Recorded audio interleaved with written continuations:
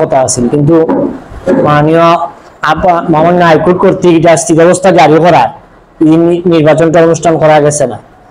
যাক, এটা এখন ই হয়েছে মানে ব্রেকেট হয়েছে মানে ইয়ের বাসায় হয় আর কি, ব্রেকেট আপনার আগামী আমরা যে আমরা কালকে আমরা নির্বাচনের অন্তর্বর্তী ব্যবস্থাপনা কমিটির তিনজনের সমন্বয়ে একটা কমিটি গঠন করা হয়েছে এটা ইমামুদ্দিন মোহাম্মদ ইমামুদ্দিন ভাই সভাপতি আমি সদস্য আর আতিক ভাই ইলা সদস্য। আমরা তিনজন মিলিয়া সদস্য ঘোষণা করা হয়েছে।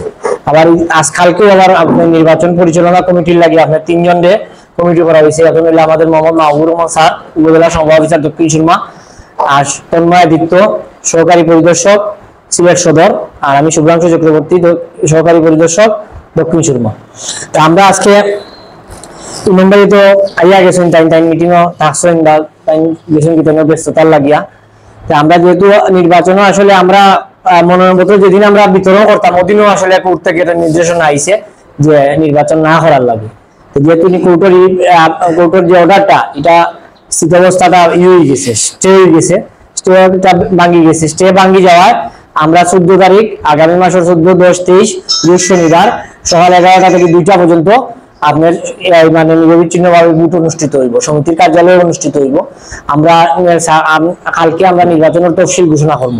এই নির্বাচনের তফসিলটা আমরা আপনারা অফিসে লাগানো হইব বা আপনারা একদিন আমাকে ইউনিয়ন পরিষদ আছে, ইউনিয়ন পরিষদ বা যেখানে মানুষের দেখে চৌক লাগে যাত্রী সামনে কোনো তিন চারটা জায়গা যেখানে বিজিগুলো বা উপজেলা বা উপজেলা সংবাদ অফিসও আপনারা ওটা লাগাই দিবা আর কি।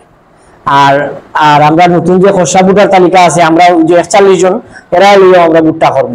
একচল্লিশ জনের বাইরে আমরা ভোট করতাম না আর নিফন্ডের জন্য কোনো বৈধতা নাই। কোর্ট কর্তৃক বৈধতা নাই এবং জেলা এবং বিভাগীয় সভা অফিস থেকে কোনো বৈধতা নাই রিফন্ডের জন্য।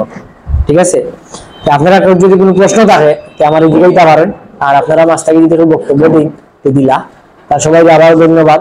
আর অভিনন্দন জানিয়ে আমার আমার বক্তব্য শেষ করা যে আমরা বাজারে কেন কিছু মামলা সহ সভাপতি সেক্রেটারি দ্বারা করছেন প্রায় দুই, তিনটা তো আল্লাহ সবটিও আমরা শেষ হয়েছে আমরা পক্ষে রায় আইছে যেমন যারা হাইকোর্টে যে বিষয়টা পনেরো সদস্য বিশিষ্ট জন সদস্য বর্ধিত করার লাগে, তারা চাইছিল যে ওগুলা বাড়াইয়া তারা নির্বাচন করতো। তো ও হাইকোর্ট থেকে এটা নির্দেশ আইছে, সিলেট জেলা সমবায় সমিতির। তো যার জন্য এটা আমরা দেখছি, সদস্য যদি বাড়াইয়া নির্বাচন দেই, এরা ব্যবসায়ী নাই, কিচ্ছু নাই। বাইরে থাকি অবৈধ মানুষ আনিয়া এই সেক্রেটারি আর সভাপতি কিতা করছে, সদস্য বাড়াইছে। তো যার জন্য এগুলো আমরা হাইকোর্ট মনে করো সাত নয় সিটি আইছে সিলেট জেলাত যে এগুলো অবৈধ ঘোষণা করে দিছে এই সদস্যরে। তো আমরা মোট আগর যে একচল্লিশ জন সদস্য আসলাম, ওই একচল্লিশ জন দিয়ে নির্বাচন হবে।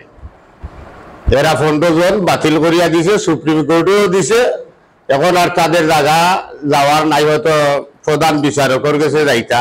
আর ঈদের তারা শেষ আইন দৌড়াইয়া তোনে আমরা আগামীতে যেভাবে আমরা যে সদস্য আছি আমার দাদাও যে জো করিয়া গেছেন দশ কত দাদা?